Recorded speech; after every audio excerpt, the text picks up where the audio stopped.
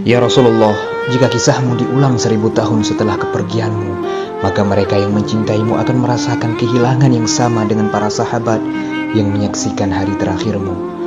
Wahai lelaki yang cintanya tak pernah berakhir, kami membaca kisahmu, ikut tersenyum bersamamu, bersedih karena penderitaanmu, membuncah bangga oleh kebahagiaanmu, dan berair mata ketika mendengar kepergianmu, seolah engkau kemarin ada di sini dan esok tiada lagi.